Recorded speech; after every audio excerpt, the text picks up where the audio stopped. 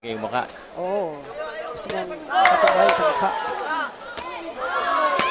Pero ang problema, itong si Canoy. And the prospect is in trouble. Adolfo. Good right hand again from Canoy. But Canoy and Adolfo, Adolfo going.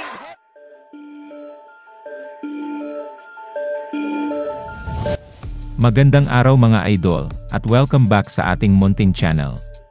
Nitong April 1 lamang taong kasulukuyan. Sa isinagawang boxing event dito sa Hoops Dam Arena Lapu-Lapu City.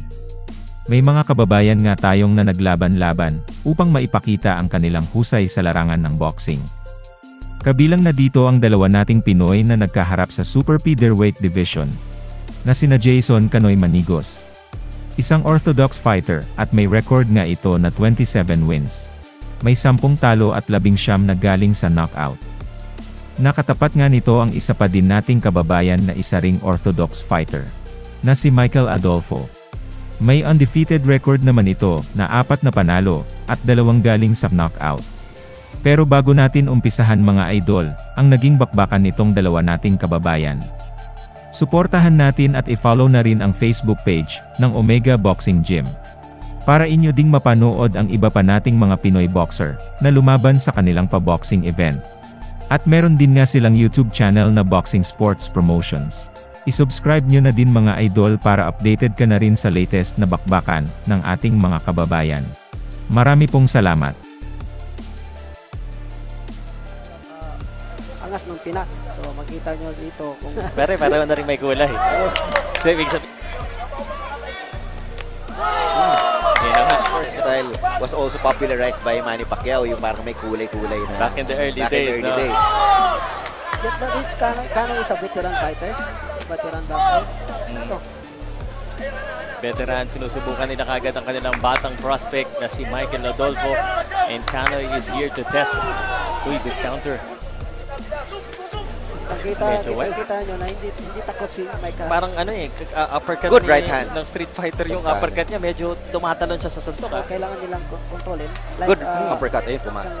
Parang yung, uppercut. uh, sure you can. Nabibigat yung suntok niya Michael Adolfo. So, napapansin naman na mabigat talaga. Very stiff jab. Yun na, I think, mag- Sa mga ganyan style. Michael Adolfo throwing with bad intention. and good body exchange na yun.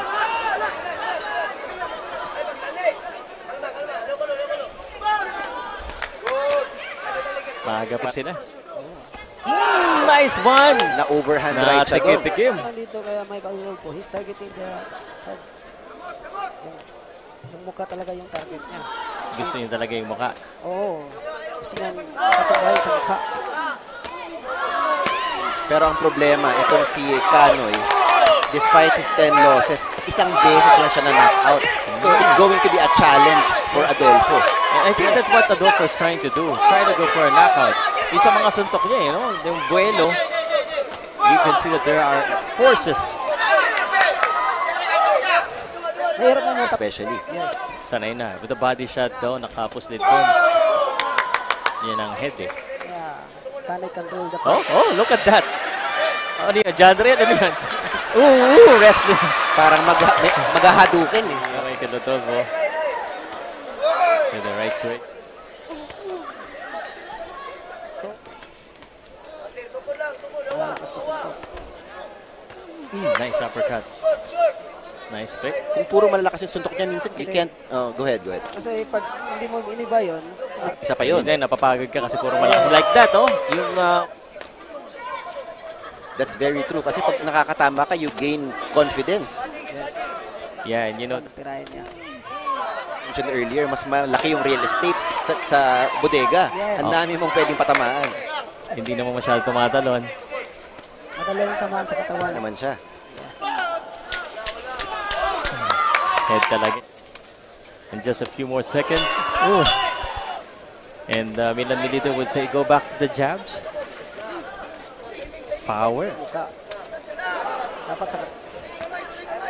Yan. And na-counter si Adolfo doon. Head again. Ngayon gusto niyo ng highlight sa ulo. Gusto niyo magpugod ng ulo. Di ba? Gulong ulo. Oh, yeah. You can see in the uppercut, ulo talaga yung target niya, oh.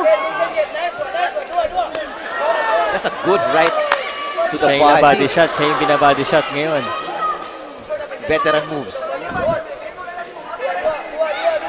And that, pag veterano kasi yung kalaban, dapat unahin mo yung body shot. Nakikita nila yung mga.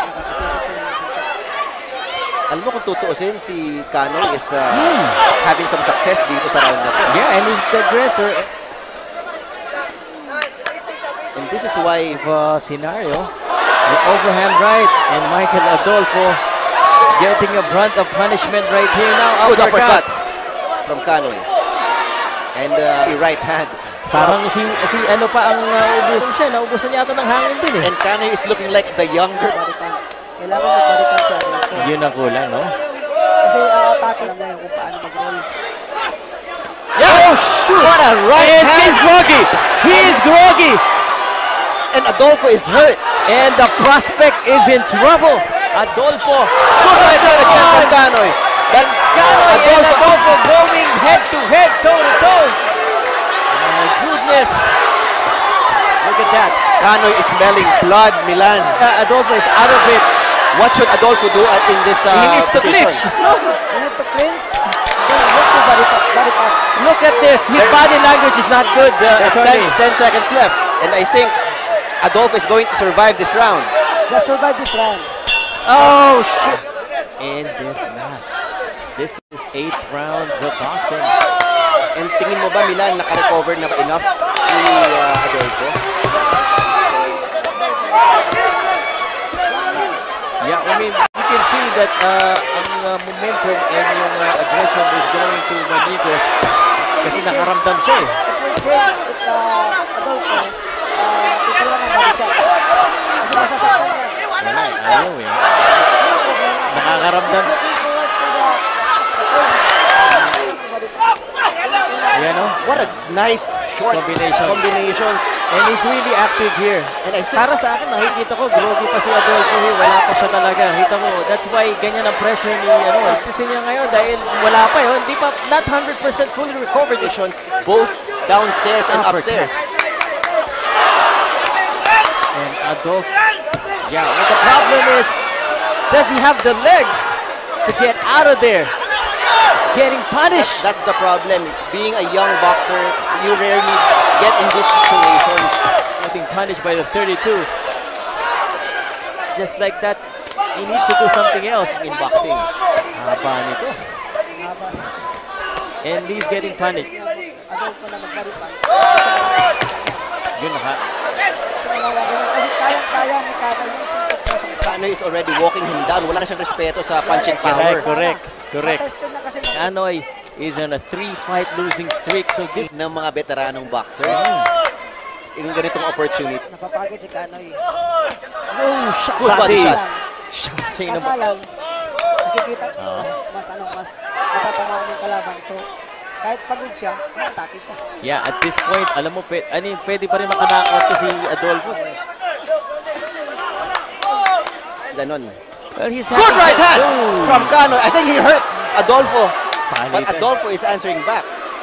I mean, he has hap- he's having success pag siya talaga yung umu-offense eh.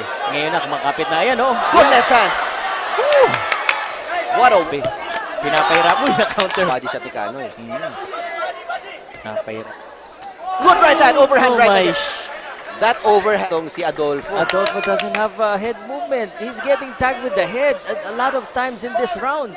By the same And his his head is getting counted. like the body language of Oh, yun na naman. Good, ayun na naman. Sapul na naman sa kanan. Hindi mo malalaman pag pag Another right hand.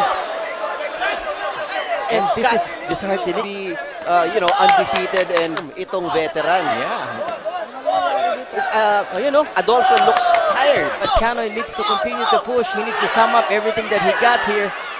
Because he's winning on score. Hmm. Nakatama. Both are resting. Ah, good kasi he's winning. Uh, and he's uh, having success when he's the Opportunity malapit na. Huwag mo na papakaw. Kasi dito, veterano si Kano eh. Ang kailangan ng veterano is After nito, tabla na. Uy. first lang. Pero yung right hand talaga na yun. Hmm, that right hand. And again, uh, uh, Kanoy attacking. Good right hand. And papunta yun dun sa right hand ni ano, Kanoy. Hmm. And now, Kanoy goes to the body. Kita mo, kahit madikit na, hindi siya sumusuntok ng katawan. Try to, uh, the older man, you try to uh, tayo him for lang. knockout kasi. Headshot talaga yun. Ayun, nag-body shot. Yun. Puntados with the chains.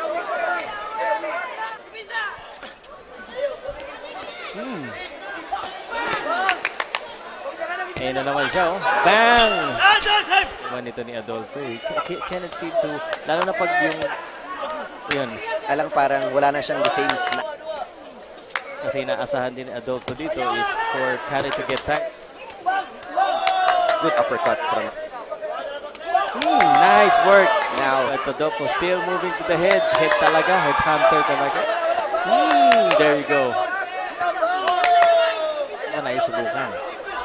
Hmm, Good up, naman overhand. right hand. Ito naman. An uppercut. Naman. And left hand from Kanoy. And Kanoy is pushing this. Corner dito si Adolfo. Adolfo clinching and the uppercut. What a beautiful Oh, uppercut. shoot. And right hand. He's It's about to go down. And uh, Kanoy pushing right the hand. face. My goodness. And Pau, just when uh, Adolfo was having some success, biglang bumawi itong si Kanoy. Delikado talaga. Buti na lang matibay-tibay. Good right hand once again. Right hand again. Nga, it- like what uh, Echo result. Yeah. Here, you, here we go. Oh, shit. I, I think Adolfo's hurt. Adolfo's definitely hurt. Right hand, He's over right, with the heart. overhand right. I mean, I mean, if if this is any other fight, and who, who's more fresh? Eh mukhang si Kanoy. Di ba? Oh, Kanoy is going uppercut. for the knockout, my friends. I mean, that is a warrior in you, but I don't know if that's the right idea, though, for Kanoy. But nonetheless, he wants to go and do the same thing that made him successful. Oh, sasabihin, lamang na ako dito. I will just co- coast around. Pero, Kanoy, puslisan siya ni Adolfo dito. And although talagang mas maganda yung tapos na mag-impok eh. You need a lucky punch. And Adolfo needs to do something. 30 Manigas eh. seconds. Oh, you know, Good right hand. nakabak yung kanan eh. Retreat. Right straight. Favorite shot. Suki. Ito na, Mil- Milan Melindo. Less than 20 seconds to go. What a war. Ano masasabi mo, champ? Ganda ng experience, ganda ng laban. Pero Learning experience. Kulang, kulang talaga kay Pintados. Kailangan And, and Pintados will be angry at himself tomorrow na hindi He niya wants to pinalitan. survive right now. He just wants to style niya. And what a performance by the journeyman. And a fresh, fresh. Sa pagtatapos ng naging bakbakan ng dalawa nating kababayan, ay isang unanimous decision ang hatol ng ating mga hurado. Kung saan umiscore dito si Jason Canoy ng 378. Habang 374 naman para kay Michael Adolfo. Kaya naman ang nagtagumpay nga po sa laban ay walang iba, kundi si Jason Canoy. From Dalaguete, Jason Canoy Manigo! At bago nga po tayo magtapos mga idol, shout out po muna kay John Carlo, Hanolino Ubanan, at Richard Hilim. Hanggang dito na lang mga idol at muli, maraming salamat.